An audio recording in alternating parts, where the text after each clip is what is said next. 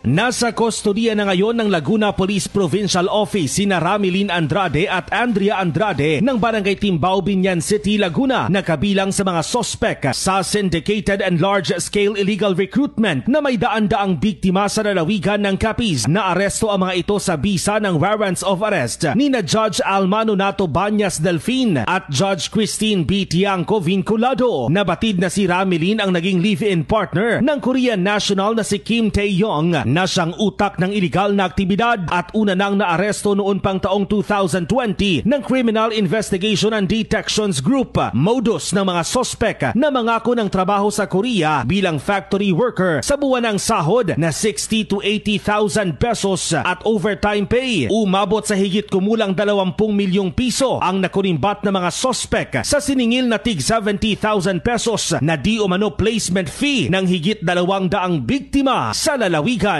Kasama mo sa RMN DYVR at IFM Rojas, Radjuman, Joshua, Kenneth Anas, Tatak, RMN.